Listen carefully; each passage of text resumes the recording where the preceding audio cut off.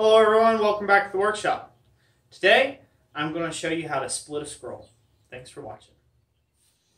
Okay everyone, here we are at the workbench. So, this here is a little snub end scroll that I'm working on. Um, but I'm not going to continue to scroll this up. This is going to be part of a fire shovel set that I am working on. And I just wanted to take and show you all a real quick thing that you can do to take and get a duplicate of the same thing you have. And it's not a whole lot of magic, but I think it's pretty exciting. Voila! You split a scroll. Cut it in two. Yep, that's right. That's simple. Anyways, enough of the joking aside. This is a real interesting way of taking and creating two elements on the end of the bar when you've just forged one. Um, this is a real nice way of doing this when you're doing several composite pieces together or whether you've got you know you want to take one of these one way or one of these the other way there's a lot of different things you can do with this method and really increase some of the value to your ironwork. You can continue to scroll one and leave one stick out. You know, you can do you can do a couple different things really, and uh, it can become a really nice, neat effect with just cutting it in two. So this is just kind of a way of thinking outside the box, thinking around the cart. But I'm going to show you how this looks when I take a nice pry these open. So I'm going to go over to the vise and I'm going to heat this up with a torch and I'm going to pull both of these legs open. It'll be kind of anticlimactic, but that way I can show you guys the final result and you can see what I'm talking about. And it makes it a neat effect. And if you haven't noticed, I screwed up. This side's a little thicker than that side. I was freehanding it with a porta band saw, but the top looks right and so whatever's excess meats here, I'm just going to take and grind off the excess meat on the lower side and they'll and they'll look about they'll look about right. So good enough for the fire poker I'm working on anyhow. Or not fire poker, the fire shovel that I'm working on. So let's get to it. Okay everyone, here we are at the vise. So as I've said in previous videos, I'm the type of guy that likes to take the path of least resistance when it comes to doing my own ironwork. And so, instead of sticking this back in the forge, I'm just going to use the torch to heat up the area that I need to move, and nothing else. I need these arms to stay straight, and I just need right where the end of the cut is to actually be spried apart or to open up. So that's the only part of this bar I'm going to heat up. I'm going to give it a little extra. This may come out as a bit of a blur on the camera here. I hope it's not. But we're trying to get this a little more heated up.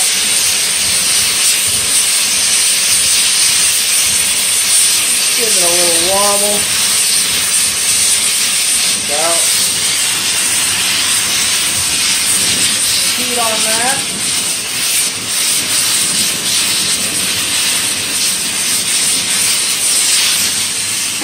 Away for a second so I can grab my tongs. Yes, wrong tongs. Okay.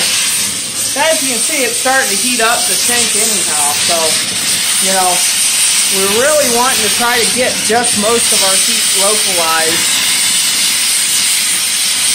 right at the base of this cut. Now where this is handy these type scrolls, this dual scroll thing that you're doing, or splitting a scroll, as well, I just want you to think of any sort of scroll work you can think about, and then let me know if you think that this would be handy at it. Some people might call this poor iron work, and they're probably right. But to me, it has a really nice effect. Oh. This is real handy, so say you wanted to do something where you had a tapered scroll, just like a ribbon end, but you wanted to have two ribbon end scrolls pretty close together. Well, that's one of those things where this right here, this information is invaluable to you. We're going to straighten these up a little bit so they look nice. And they're going to sit square to the pan of the shovel.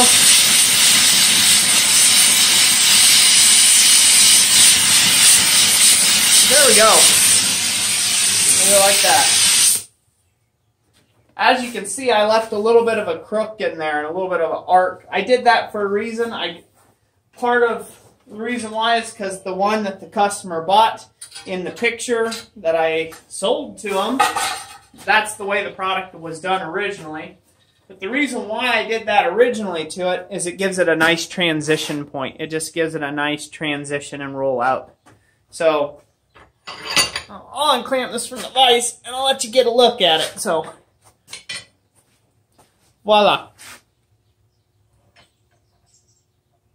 Two perfectly identical scrolls for my attachment point. There you go. Sorry, speaking from the back of the camera. Hopefully the sound didn't get weird. But now you can imagine there would be a shovel body sticking out from there. And that's a really neat effect to have that and it shows that extra level of detail in a connection joint versus just you know two flats flared out or trying to form these on the ends of two bits that you rolled out. They're already done for you. So the next step in this process, I will probably grind this thicker portion here down a little bit. That way it matches the other side. And then that'll be ready to connect. But anyways, that's my quick tip for today. Hope you guys liked this video. If you did, give it a big thumbs up. If you didn't, give it a big thumbs down. Either way, I greatly appreciate your input. And uh, yeah, we'll catch you on the next one, guys and gals. God bless you all. Have a great day.